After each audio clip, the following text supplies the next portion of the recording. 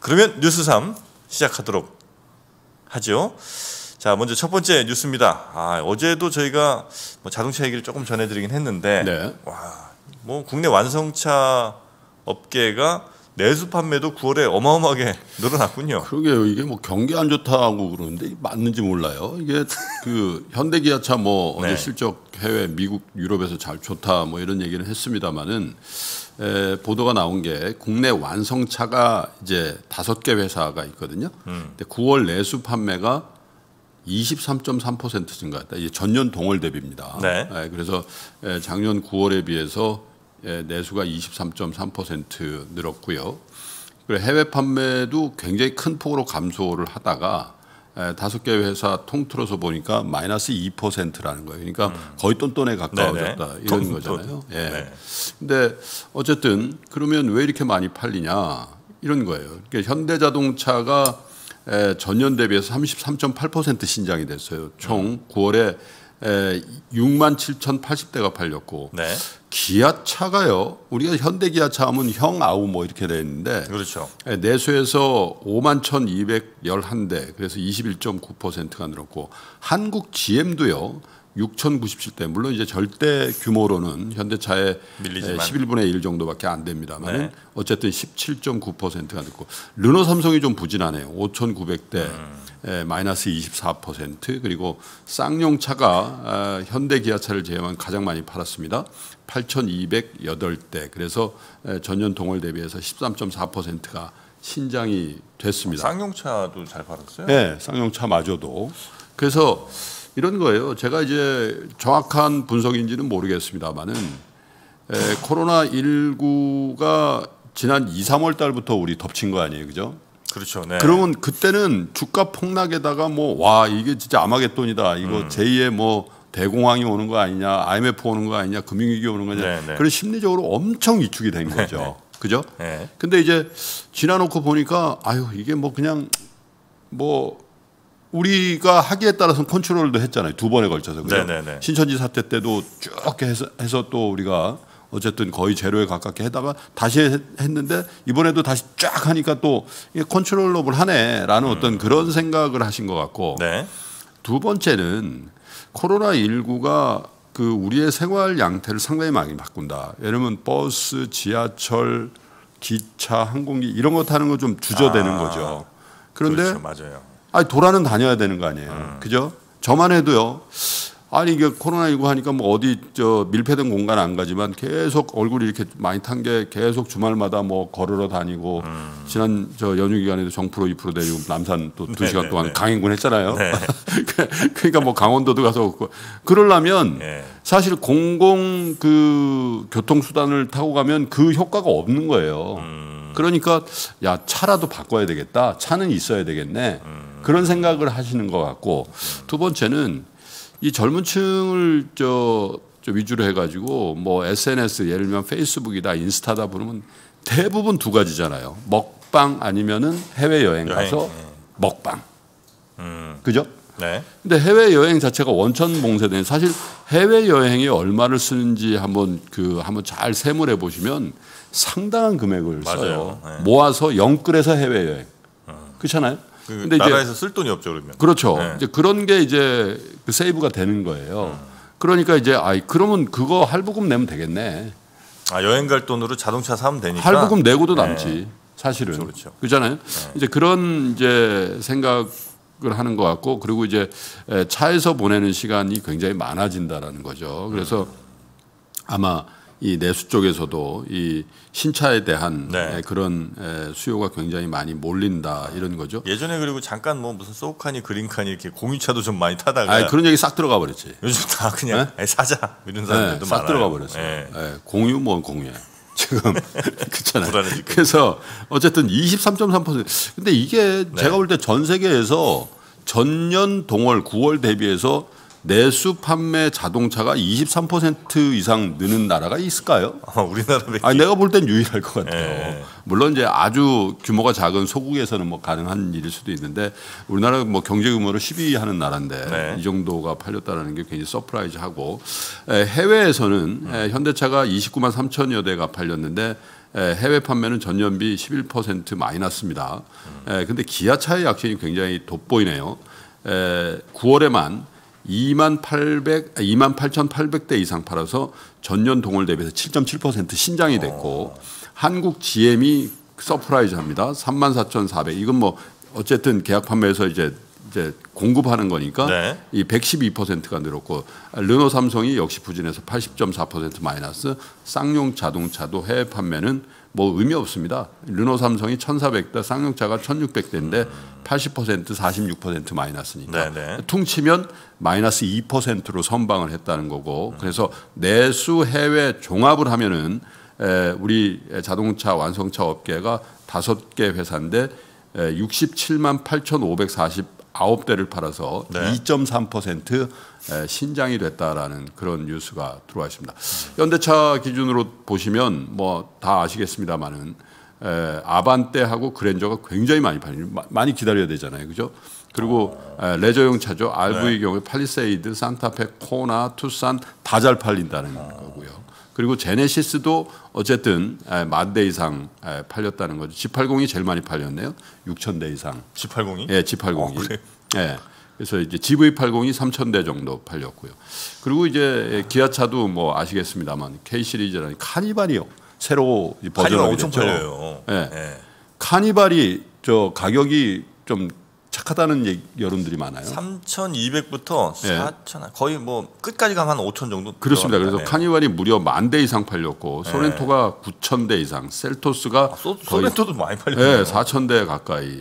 그리고 뭐 K9, 아 이제 K5, K7 이런 것들 뭐 스테디셀러인데 또 업그레이드를 했잖아요. 음. 네네. 그래서 굉장히 잘 팔리고 있다. 그래서 대체로 보면 에, 현대차, 기아차 다 에, 해외든 국내든 간에 단가가 조금씩 올라가고 있는 차들 음. 위주로 에, 베스트셀러카가 지금 포진되고 있다는 것도 네. 에, 두 회사의 실적이 상당히 에, 좋은 영향을 주지 않겠나 이런 생각을 하게 됩니다. 네.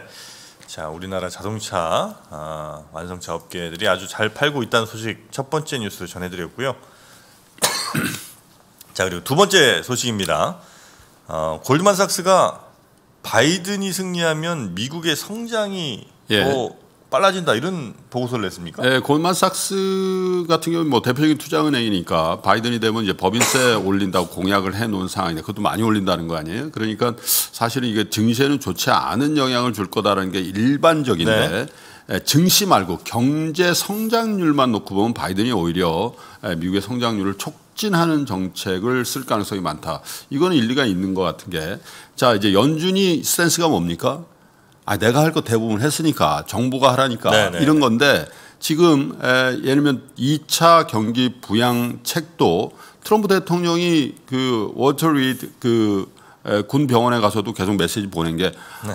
민주당에다 보내는 게 아니잖아요. 민주당 니네 협조하라는 게 아니라 공화당 당신들 빨리 협, 하세요라고 하잖아요. 음. 네. 그러니까 아, 전통적으로 그런 거죠. 민주당은 재정을 투입해서라도 뭘 해보겠다라는 그런 스탠스고 공화당은 시장 기능에 좀 맡겨야 된다. 이런 이제 대별되는 정책적 기조를 가지고 있단 말이죠. 네. 근데 이제 바이든이 될 경우에 대체로 보면 에, 여대 야소가 될 가능성이 많다.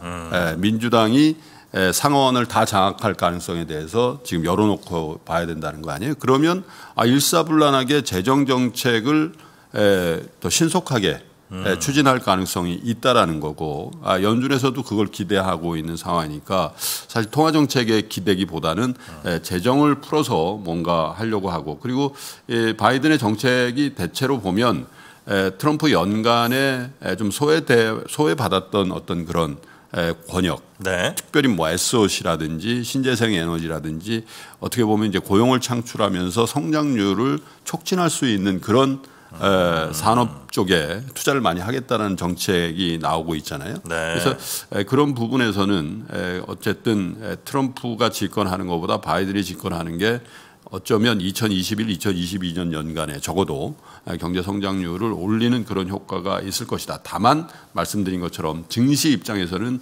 에, 법인세율을 공약처럼 21%에서 28%로 7% 포인트 높여 놓으면 아무래도 에, 법인세 에, 부분의 에, 그 주주 가치가 에, 훼손이 된다는 측면에서 에, 주가에는 어떨지 모르겠지만 지만 그 부분을 경제가 활성화되는 부분으로 이렇게 상세해 들어갈 가능성이 있다. 네, 네, 네. 아, 뭐 이런 이제 보고서를 낸 걸 이제 보도가 됐는데 에, 월스트리트에서는 대체로 에, 트럼프 대통령이 되는 게 증시에 유리하지 않냐 이런 이제 보도들이 나오는데 그 참 그 이중적이에요. 그런데 그 안에서 네. 헌금한 거 보면 바이든한테 훨씬 더 많이 왔대요. 아, 예. 그 기업들이 돈 낸 거는 예, 정치 헌금한 거 보면 네, 네, 네. 예를 들면 유명한 펀드 매니저 뭐 또 펀드 운용사 이런 데서도 이제 그각 진영별로 이제 헌금을 하잖아요. 바이든이 압도적으로 많다는 거예요. 그것도 참 이중적이죠. 아, 트럼프가 되면 더 좋을 것 같다고 네. 얘기를 하면서도 실제로 실제로 선거 자금이 바이든이 훨씬 더 많이 모여 있고 그래서 에, 광고 이제 대부분의 이제 선거 자금이 광고비로 쓰잖아요. 네네네. 광고가 압도적으로 바이든이 많잖아요. 예, 그런 상황도 좀 이례적이다라는 거죠. 네. 자, 뭐 트럼프 대통령은 오늘 이제 아마 퇴원한다고 그러니까요. 예. 아 그래서 역시 이제 그 트럼프 대통령은 커봐라 별거 아니라니까 그렇게 하면 메시지를 네. 또 던질 것 같습니다. 우리가 여기에 뭐, 뭐라고 했더라 이, 이, 이런 질병에 우리가 저 제약 당하면 안 됩니다. 아, 이렇게 얘기를 했죠. 음. 네. 퇴원을 할 것 같습니다. 자, 그리고 세 번째 뉴스는요. 아, 빅히트 어제가 공모 청약 첫날이었는데 막 어마어마하게 막 몰릴 것 같더니 아, 빅히트는 안 쳤어요. 못 쳤어요. 예. small hit 89.6대 1을 기록해서 첫날 경쟁률 오늘까지 하는데 증거금이 8조 6,242억 원 에, 들어왔다라는 거예요. 에, 그래서 이게 에, 예를 들면 카카오 게임스 이런 거에 비하면 훨씬 더 작은 그 물량이 이제 금액이 이제 들어온 건데 네. 아직은 모르죠. 왜냐하면 아, 저 같아도 뭘, 뭘 어제 하겠어요. 하루 돈 묶이는데. 그리고 에, 어쨌든 하루짜리 이주라도 어딘데 그죠? 에, 그래서 에, 오늘 이제 뚜껑을 열어봐야 되겠습니다만 증권사별로 이제 한국투자증권 경쟁률이 114.8대 1로 가장 높았고 미래에셋대우가 87대 1, NH투자증권이 69대 1, 키움증권이 66대 1 이렇게 에, 경쟁률이 있으니까 오늘 청약에 여러분들 좀 참고 어, 하시면 좋을 것 같고요. 어쨌든 그 빅히트의 그 청약률이 오늘까지도 해서 조금 낮아질 거다라는 에, 카카오 게임즈나 SK 바이오팜보다는 낫지 않겠나 이렇게 네. 보는 시각들도 있어요. 왜냐하면 에, 어제도 에, SK 바이오팜이 굉장히 많이 빠졌잖아요. 네, 네. 에, 3개월짜리 기간 보호 예수 물량이 풀렸고 또 카카오 게임즈가 아, 상장할 때나 좋았지. 이게 뭐 따상은 됐는데 음. 그 다음에 힘없이 그냥 30%쭉 빠져버리니까 아유 내가 뭐 그렇게 해가지고 발품 팔아가지고 어, 1억 넣고 한 두세 주 받아가지고 그거 뭐 무슨 부귀영화를 누리겠노? 이런 생각을 하시는 것 같아요. 네. 에, 그러나 모르죠. 오늘 또 어떻게 예, 예, 반응을 할는지. 그래서 에, 빅히트 엔터테인먼트는 글쎄요. 뭐 손해 볼 것 같지는 않은데 일단 음. 사더라도? 예, 예. 네. 뭐 따상이야 되지 않겠나라는 그런 생각을 갖고 있는데 예, 그건 모를 일이고요. 어쨌든 네. 예, 발품을 팔 건지 안 팔 건지는 오늘 내로 여러분 잘 생각해 네. 보시기 바랍니다. 이렇게 해서 이제 따상 나오는 날이 언제예요? 이제 오늘까지가 아 청약이요. 청약이고 제가 어, 한 다음 며칠, 몇, 며칠 있어야 되죠. 며칠 있어야 되는 예. 거죠? 예. 예. 근데 돈은 이제 내일 돌려받아요. 내일 돌려받고 예, 내일 돌려받아요. 네. 네. 자, 아, 빅히트 어, 공모 청약 오늘 이제 두 번째 날 마지막 날이라는 것까지 말씀을 좀 드리면서 예. 이제는 아, 교보증권의 박병창 부장님 또 만나러 가야 될 시간이 됐습니다. 아, 지금 이제 막 늦게 들어오신 분들은 깜짝 제 선글라스 보고 놀라신 분이 있는데요. 예, 다 여러분을 위한 저의 조치라는 것만 알아주시면 네. 감사하겠습니다. 자, 그러면 잠시 전하는 말씀 듣고 와서요.